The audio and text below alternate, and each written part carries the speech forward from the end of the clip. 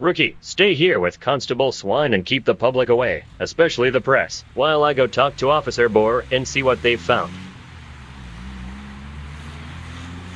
Geez, Ham, just do it!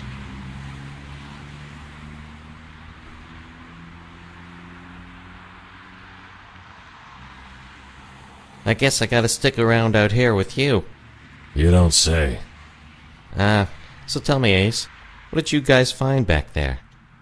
Hey, kid. I used to be all eager beaver like you is once upon a time. I get it. But you do not want to go back there. It's a dead body, isn't it?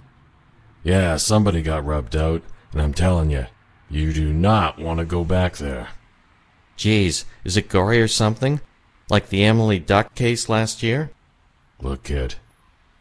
You know that whack job we're supposed to keep an eye out for? Well, he struck again. Gosh, the one they're calling the Vat? This'll be the third one he's put down. Put down? He didn't just put him down, kid. He didn't? What did he do? Kid, before he put him down.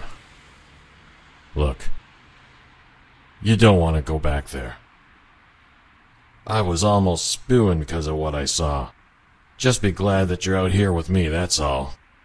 Let the morgue and the lab boys deal with this now. They got more of the stomach for it. I didn't want to be a cop because it's easy. The only way for me to be able to do the job is to get some experience. In time, kid. In time. But if you gotta know.